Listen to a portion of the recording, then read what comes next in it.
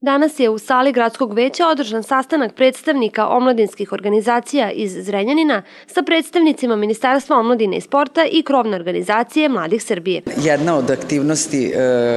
grada kada je u pitanju e, život mladi jeste i kancelarija za mlade e, koja će svakako dobijati e, i dalje e, podršku e, grada i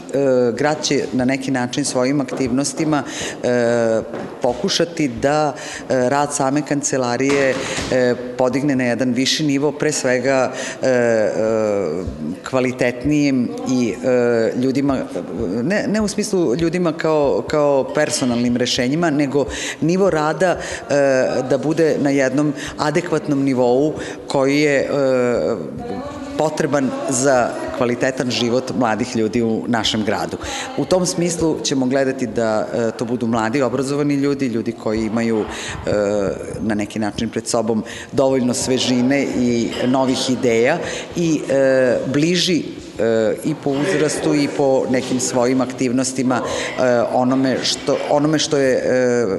potrebno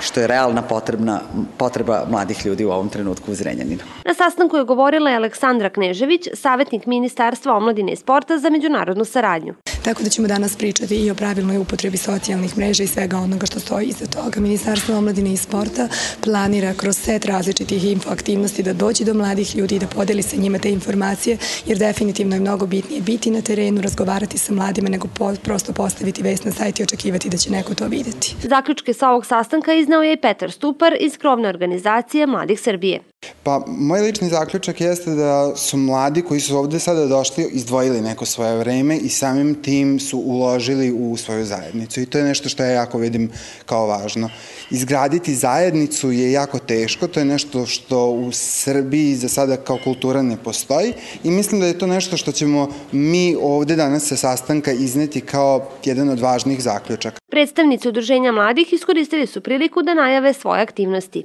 E, žele bi da najavim, znači u sklopu projekta Umreži se pokaži se koje je finansirao Ministarstvo omladine i sporta, e, da ćemo 21. E, novembra imati akciju u centru grada gde će se sve organizacije koje se bave mladima i ostale pokazati čime se bave, šta radi i samim tim pokušati da pridobiju nove mlade ljude koji žele da učestvuju. I samo da najavim da je u toku jedan naš veliki projekat. Projekat